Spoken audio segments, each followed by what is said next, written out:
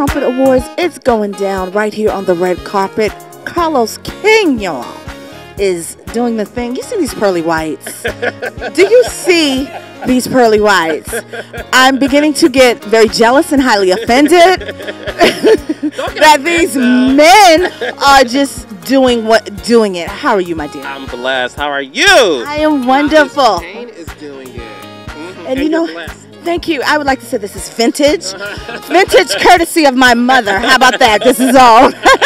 but but tell us, why are you excited to be here? The energy is just so awesome. The energy is great. I'm excited to be here because I consider myself to be a philanthropist and giving back to the community. So anytime there's an opportunity to award those who are just as deserving, you know, I'm all for it. Absolutely. Anyone you're looking forward to seeing here tonight? Well, Jamie here, and he's always a good time and very funny. Right. And I love to laugh at his jokes. So I would say oh. definitely seeing what he's going to bring on stage this evening. Now, what are you going to bring for us for the remainder of 2015? There's a few things going on. You know, Housewives of Atlanta will be on until like April. Okay. So, and it's getting juicier and juicier as the weeks unfold. And then Hollywood Divas for TV One. Season two is coming back this year.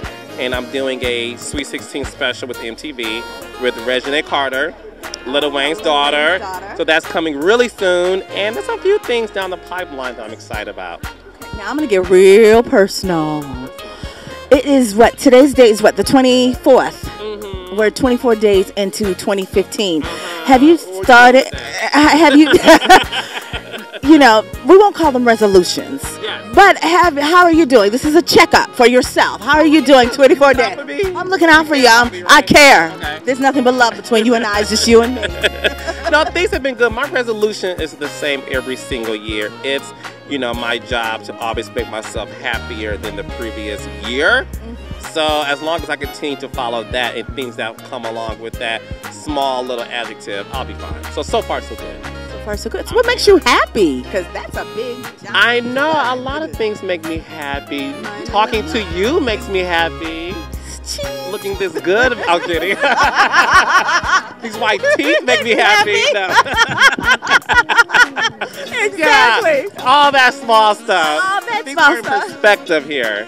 You are the best. Thank you for the conversation.